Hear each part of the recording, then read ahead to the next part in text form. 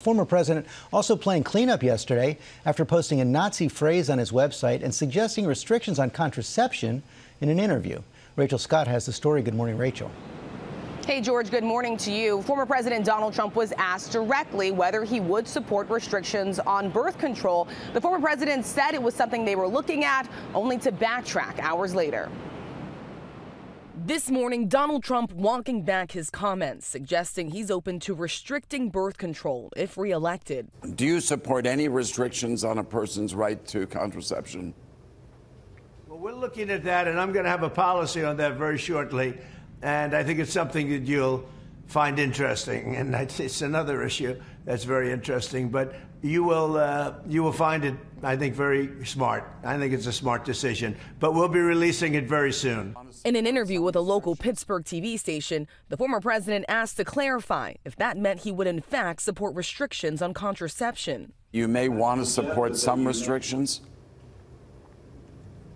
like the morning well, after pill or something. We are we are also, you know, things really do uh, have a lot to do with the states and some states are going to have different policies than others. The Biden campaign seizing on those words, saying women across the country are already suffering from Donald Trump's post Roe nightmare. And if he wins a second term, it's clear he wants to go even further. And then hours later, Trump backtracked, writing on social media he has never and will never advocate imposing restrictions on birth control or other contraceptives. But that's something he never made clear in the interview.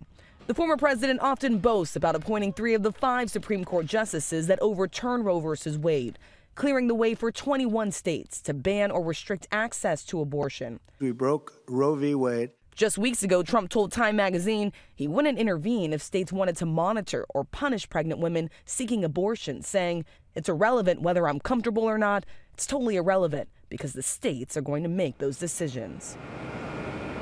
There are still major questions about whether the former president supports further restricting access to the abortion pill mifepristone, which is used in more than half of abortions in the United States. Trump said he would release his position weeks ago, and he still has not done so, Michael. Yeah, still waiting there. Still waiting, Rachel. Thank you.